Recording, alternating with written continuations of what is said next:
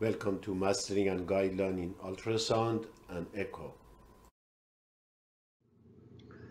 Hi everyone. Uh, today uh, we are talking about the pericardial effusion detection and differentiation of pericardial effusion from the pleural effusion and, uh, and fat pad and other tips. As you know, the window choice window choice for the detecting pericardial effusion is generally subcostal because you have a liver as a window and it help you uh, get better image clear. But as you know many patients they don't have subcostal and based on the gravity look position of the patient the amount of the fluid we just don't uh, satisfy only with subcostal detection. We always go detect all other uh, window the best window for uh, differentiated of uh, pleural effusion from pericardial effusion is uh, parasternal long axis and short axis. Before that, first we have to uh, differentiate uh, pericardial effusion from fat pad. As you see on these plaques, on here, there is some hypoecho area anterior to the RVOT. This is free wall of RVOT. And here we have pericardium parietal.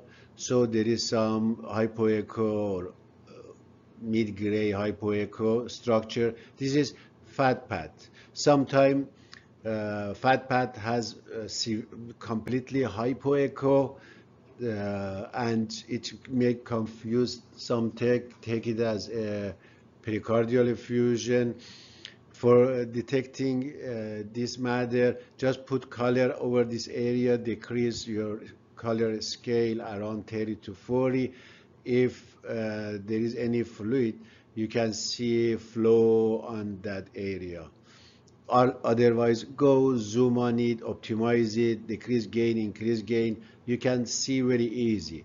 Beside of that you go the other uh, location too here at the posterior. You can see two layer of pericardium parietal and visceral.